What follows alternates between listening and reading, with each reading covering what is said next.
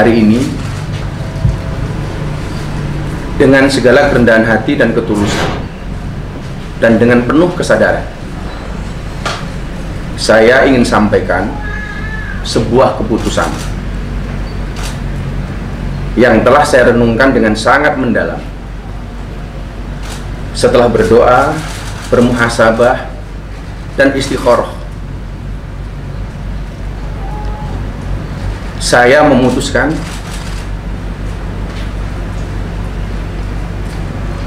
untuk mengundurkan diri dari tugas saya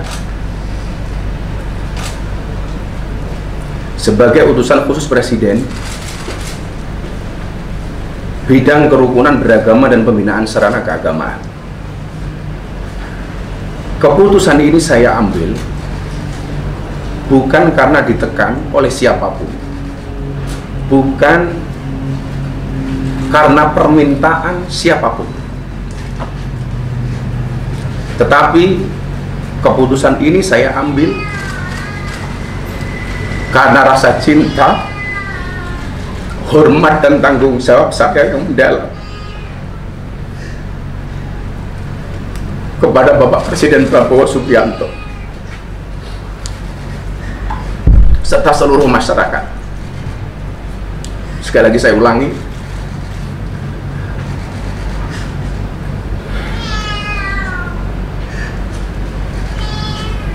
keputusan ini saya ambil bukan karena ditekan oleh siapa pun, bukan karena permintaan siapa pun,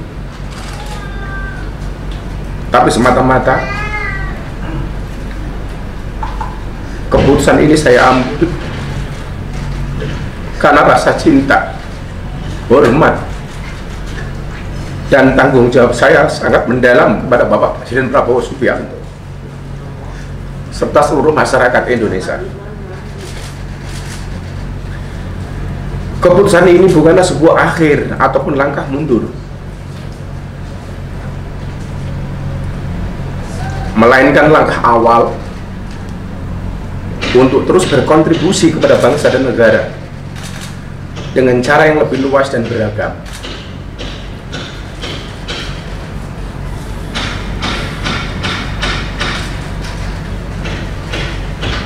Seorang berjiwa kesatria pernah berkata,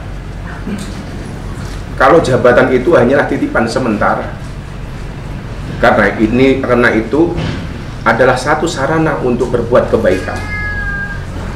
Oleh karena itu, sebagai seorang pendakwah dan pelayan umat, saya merasa bahwa pengabdian kepada bangsa dan negara Indonesia tidak terbatas pada satu jabatan dan kedudukan semata, tapi mencakup seluruh ruang di mana saya bisa memberikan manfaat kepada Bapak Presiden.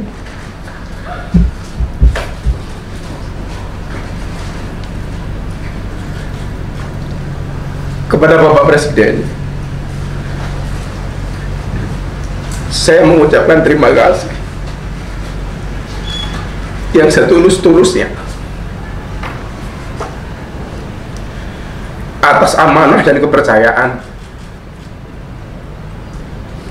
yang telah diberikan kepada saya. Saya seorang anak yang berlatar belakang dari jalanan yang bergaul dengan dunia marginal dunia premanisme dan klub malam.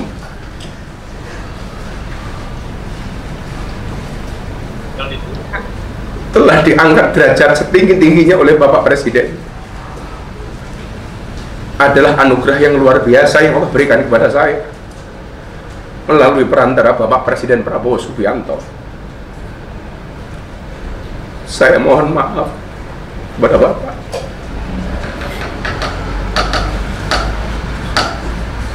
belum bisa menjadi sesuai yang Bapak harapkan dari saya.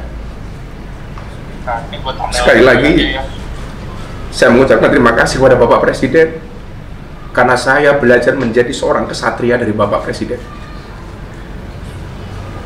Kepada seluruh rakyat Indonesia, saya mengucapkan terima kasih atas dukungan doa dan kepercayaan yang telah diberikan selama saya menjalankan tugas ini. Sebagai manusia biasa, saya tidak luput dari kekurangan, kekhilafan, atau kesalahan yang saya perbuat, baik yang disengaja maupun tidak. Saya mohon maaf dari lubuk hati yang paling dalam karena saya yakin kebenaran hanyalah milik Allah Subhanahu wa taala semata. Sekali lagi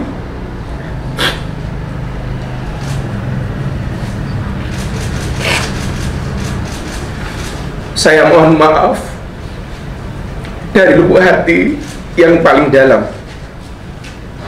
karena saya yakin kebenaran hanyalah milik Allah Subhanahu wa taala semata. Saya boleh ada jabatan atau tidak. Saya boleh berhenti dari amanah yang diberikan Bapak Presiden. Bahkan saya boleh ada atau tiada sebagai manusia dan warga negara. Tetapi Indonesia harus terus ada dan bergerak maju menjadi bangsa dan negara yang bersatu, adil, makmur dan bermartabat.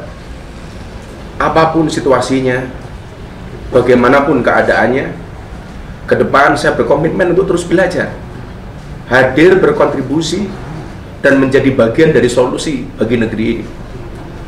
Dalam kapasitas saya sebagai seorang pendakwah, saya akan tetap membawa pesan persatuan, toleransi, dan semangat kebangsaan, menjadikan keberagaman sebagai kekuatan, dan bukan sebagai alasan untuk berpecah belah justru sebagai energi bagi integrasi nasional yang diberi semangat oleh prinsip Bhinneka Tunggal Ika.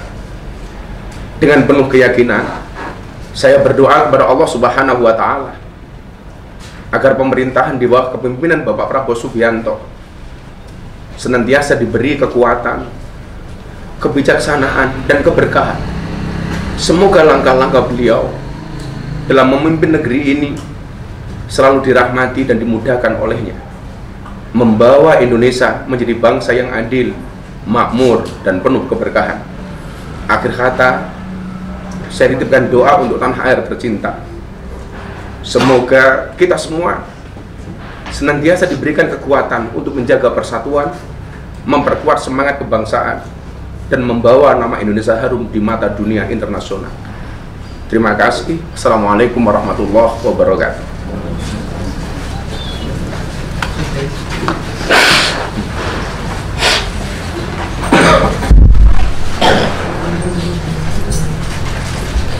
Download Tribun X sekarang. Menghadirkan lokal menjadi Indonesia.